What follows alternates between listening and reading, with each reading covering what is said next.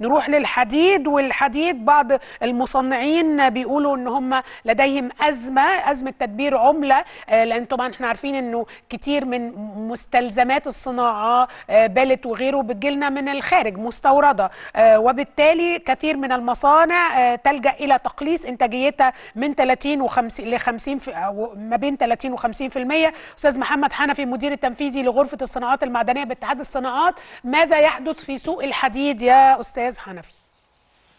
كما اولا مساء الخير. مساء النور. آه كما يحدث في أغلب السلع اللي نعم. بتعتمد على الواردات المست... الخامات المستخ... المستوردة.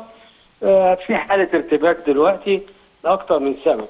آه السبب الأولاني طبعا السعر توفر العملة نفسه والسبب الثاني إن آه تحديد سعر العملة.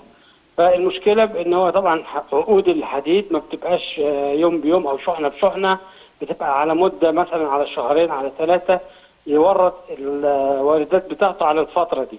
طيب حضرتك هتحسبي سعر الدولار هيتحول له بكام النهارده إزاي؟ فلو تطلبي من البنك إن أنت هتبقى الفلوس دي هتتباع خلال شهرين ما بيقدرش يقول لك يبقى ال- الدولار هيبقى بكام بعد شهرين. ده في حالة توفره طبعا. أيوه فدي عاملة حالة من الارتباك. في بعض المصانع الصغيرة طبعا بيبقى إمكانيات السيولة معاها مش متوفرة فدي هي بتتعب جدا وبالتالي بيتقلص إنتاجها وبيأثر على السوق. في مصانع كبيرة ما بتقدرش تسعر المنتج فبتنتظر إن توصل لسعر ليه. كل الحاجات دي عاملة حالة من حالات الارتباك في السوق. آه عدد المصانع اللي تأثرت ب- بالأزمة وقل- وقللت إنتاجها قد إيه؟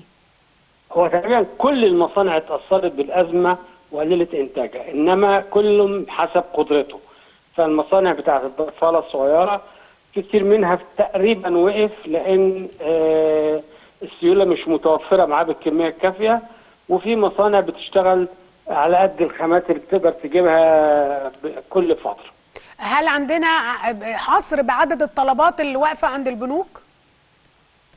لا عددها لا. انما إحنا عندنا زي ما قلت لحضرتك في الحديد دائما في طلبات لأن الحديد ما بيجيش زي ما قلت لحضرتك ش- دفعة بدفعة. ده بيبقى عقد طويل بتيجي على شكل ثلاث أربع دفعات خلال شهرين ثلاثة فدائما في طلبات لخامات جاية وفي دائما طلبات لتوفير دولارات وفي خد... وفي خامات متكدسة يعني في خامات آه، متكدسة في المواني عندكم مثلا؟ آه، طبعا في كتير وفي الاخطر من كده. إن عندنا ما- خامات مناجم الخام الحديد الخام والخردة بتبقى على المراكب بره الم... بره الميناء لما بتتوفر عملة بيقدر يدخل المركب يفرغ الجزء اللي قدر يدبر له عملة طبعا الأسعار نتيجة كل ده مرتفعة يعني الأسعار آه، آه، آه، مرتفعة دلوقتي هو ما أقدرش أقول يعني بالشكل العام مرتفع لأن غير قادرين على تحديد. رقم قطعي آه، ليها. ده بقى بيأثر على مش بس على صناعة الحديد بيأثر بقى على آه، صناعة العقار وعلى البنى وعلى كل الصناعات اللي بتستخدم الحديد.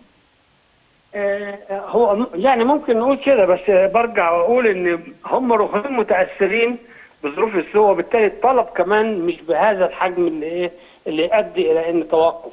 إنما آه، الكمية المتاحة آه، مش آه، مش بالكامل.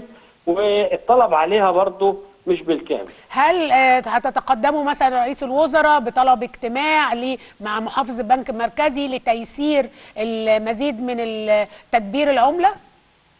آه وطبعا الكلام ده حصل من شهرين ثلاثة بشكل منتظم. كل فترة بت- بيتم الإفراج عن جزء بنقول كويس يجي بعد كده نتوقف تاني نرجع نطالب تاني. فالمهم إن دائما في تجاوب أو في يعني اتصالات بتتم مع البنك المركزي ومع وزير مع مع رئيس الوزراء. دائما أول بأول بنقترن بالصورة شكلها إيه؟ شكرا أستاذ محمد حنفي آه، المدير التنفيذي لغرفة الصناعات المعدنية باتحاد الصناعات.